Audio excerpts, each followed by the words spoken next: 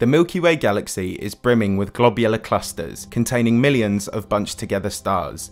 We've discovered more than 150 of these stellar cities within the galaxy, but one of them is unique Omega Centauri.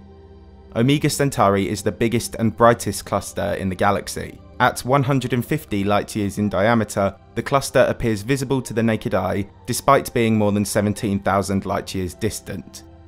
Omega Centauri's stars vary in metallicity, suggesting that they did not all form together as clusters usually do. In fact, it may not even be a true cluster, but rather the remains of an ancient primordial dwarf galaxy, which formed more than 12 billion years ago. This proto-galaxy would have had its outlying stars absorbed by the Milky Way, now, this ancient cluster barrels through space, its 10 million constituent stars guided by the surviving intermediate mass black hole some 12,000 times heavier than the Sun.